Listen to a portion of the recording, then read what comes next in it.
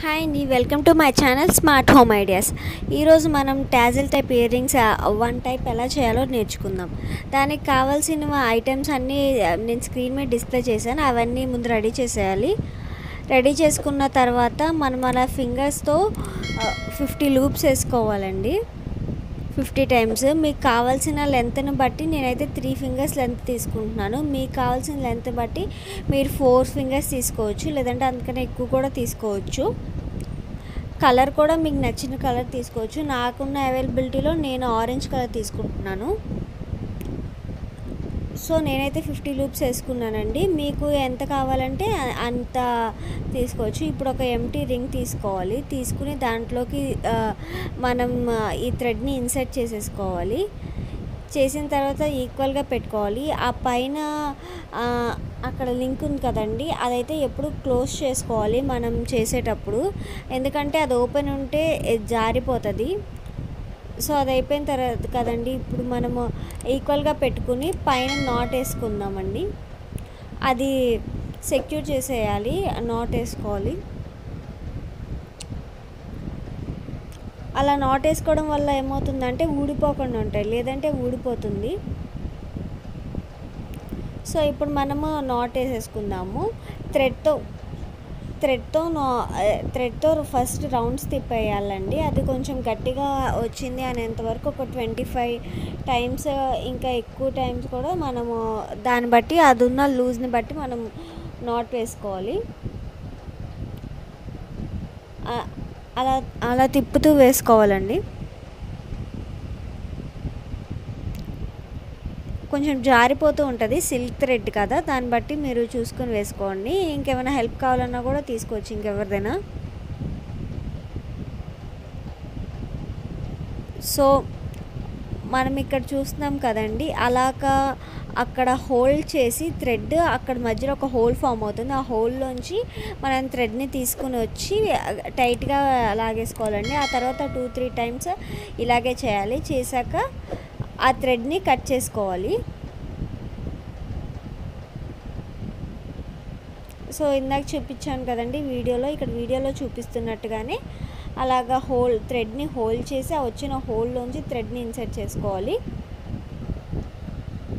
అయిపోయిన తర్వాత అక్కడ పీస్ ఏమీ లేకుండా జాగ్రత్తగా నీట్గా కట్ చేసుకోవాలండి. ఇప్పుడు దానికి ఒక పర్ల్ పెడుతున్నాను. ఆ పర్ల్కి ఫస్టే కనెక్టెడ్ రింగ్స్ పెట్టేసి ఉంచుకున్నానండి. ఆ పర్ల్ని ఇందులోకి పెడుతున్నాను ఈ పర్ల్స్ ఇవన్నీ కూడా మీకు బయట మార్కెట్లో అవైలబుల్గా ఉంటాయండి. సో ఇప్పుడు నెక్స్ట్ కలర్ కాంబినేషన్ వచ్చేసేసి నేను గోల్డ్ తీసుకుంటున్నాను. ఇది కూడా సేమ్ ఇంతకుముందు మనం వేసినట్టుగానే ఫిఫ్టీ లూప్స్ వేయాలి. మీరు ఇంకా కావాలంటే ఎక్కువ కూడా వేసుకోవచ్చు. నేనైతే ఫిఫ్టీ వేసుకుంటున్నాను. సో అయిపోయింది కదా ఇప్పుడు కట్ చేసుకుందాం. కట్ చేసుకోవడం అయిపోగానే లాస్ట్ టైం చేసినట్టే ఇప్పుడు దీన్ని కూడా ఆ రింగ్లోకి ఇన్సర్ట్ చేసేసి ఇలాగా చేసుకోవాలి. అలా నాట్ వేసుకుని చేసుకోవాలి. నెక్స్ట్ అలాగే ఇంకో ఆరెంజ్ థ్రెడ్ తీసుకుంటున్నానండి. నేనైతే ఆరెంజ్ తీసుకుంటున్నాను. మీకు ఏ కలర్ కా మీకు ఏ కలర్ కావాలంటే మీరు ఆ కలర్ చూస్ చేసుకోవచ్చు. సో ఇప్- ఎప్పటిలాగానే ఇప్పుడు కూడా మళ్ళీ ఫిఫ్టీ లూప్స్ వేసుకోవాలి. కలర్ కాంబినేషన్స్ ఏంటంటే మీరు కావాలంటే మల్టీ కలర్ కూడా చేసుకోవచ్చు. టూ కలర్సే యూజ్ చేయకుండా. ఎలా చేసుకున్నా ఇవి చాలా లుక్ అయితే ఇస్తుంది లుక్ అయితే ఉంటుంది. గుడ్ లుకింగ్గా ఉంటాయి. ఇది లాస్ట్ టైం చూపించినట్టే నాట్ చేసుకోవాలి. ఒక చిన్న రిక్వెస్ట్ అండి. మీరు కనుక నా ఛానల్ని ఫస్ట్ టైం చూసినట్టయితే like share and subscribe to my channel. So ఇంకా అలా పెట్టుకోవాలి. జాగ్రత్తగా చిక్కుపడిద్దండి. సిల్క్ థ్రెడ్ కాబట్టి కొంచెం చూసుకోవాలి. చూసుకుని జాగ్రత్తగా అక్కడ మళ్ళీ నాట్ వేసేసుకోవాలి. వేసేసుకున్న తర్వాత చూసారు కదండి నేను పెట్టినట్టు మధ్యలో పోల్ పెట్టి అటు ఆరెంజ్ ఇటు ఆరెంజ్ పెట్టి ఆరెంజ్ పక్కన గోల్డ్ పెట్టాను. ఇప్పుడు మళ్ళీ ఇటు సైడ్ గోల్డ్ కలర్ పెడుతున్నాను. ఇందాకట్లాగానే ఫిఫ్టీ లూప్స్ వేసుకుని. ఆల్టర్నేట్గా పెట్టుకోవాలి. మీరు కావాలనుకుంటే సేమ్ కలర్ ఒకే కలర్తో కూడా చేసుకోవచ్చండి. కానీ ఆల్టర్నేట్ కలర్స్ అయితే ఇంకా బాగుంటుంది. మీ డ్రెస్కి మ్యాచ్ అయ్యే కలర్స్ ఏవైనా సరే యూజ్ చేసుకొని చేసుకోవచ్చు. అన్ని రకాల కలర్స్ థ్రెడ్స్ మీకు మార్కెట్లో అవైలబుల్గా ఉంటాయి. సో ఇందాకట్లాగానే ఇప్పుడు కూడా నాట్ వేసేసుకోవాలి.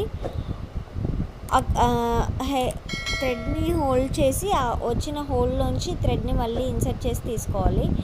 ఇలాగ మొత్తము ఆల్టర్నేట్గా వేసాము. పర్ల్ పెట్టి పర్ల్ పక్కన ఆరెంజ్ టూ సైడ్స్ ఆరెంజ్ పెట్టి దాని పక్కన గోల్డ్ గోల్డ్ పక్కన ఆరెంజ్ మళ్ళీ గోల్డ్ అలా పెట్టుకున్నామండి. ఫస్ట్ గోల్డ్ పెట్టుకున్నాము. వీడియోలో చూపిస్తున్న విధంగా ఇలా మొత్తం అరేంజ్ చేసుకోవాలి. చేసుకున్న తర్వాత ఇప్పుడు మనం ఫ్యాబ్రిక్ గ్లూ పెట్టుకుని ఒకదాని తర్వాత ఒకటి పైన మటుకే పెట్టుకుని జాగ్రత్తగా అంటించాలి. ఫ్యాబ్రిక్ గ్లూనే యూజ్ చేయాలండి. ఎందుకంటే మనకి నార్మల్ గ్లూ యూజ్ చేస్తే అది వైట్గా కనిపించే ఛాన్సెస్ ఉన్నాయి. కానీ ఫ్యాబ్రిక్ గ్లూ యూజ్ చేస్తే ఆరిపోయిన తర్వాత మనకి వైట్గా కనిపించడం కానీ అలాగా ఏమి ఉండదు. సో లుక్ పాడవకుండా ఉంటుంది.